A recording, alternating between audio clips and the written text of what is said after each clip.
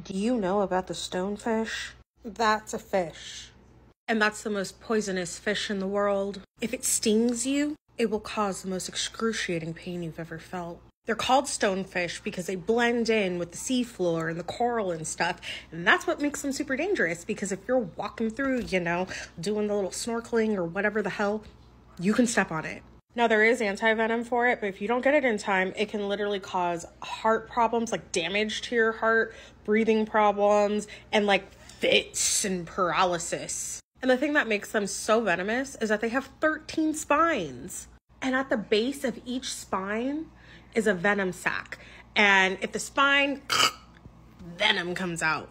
And when they're hunting for their prey, which is typically small fish and crustaceans, they literally pop out and it takes 0.015 seconds to attack and consume their prey. Australians, I really don't know how you guys live there. I don't, I, I don't, everything there is deadly.